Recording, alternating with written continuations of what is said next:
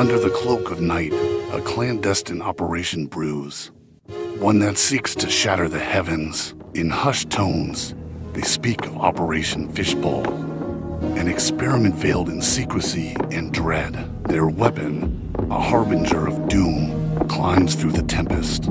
Seeking the firmament's edge, rockets armed with nuclear bombs.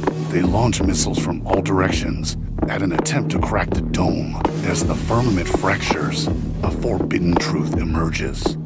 A glimpse into realms unknown. Uncover these enigmatic artifacts, each a key to understanding the true purpose of Operation Fishbowl.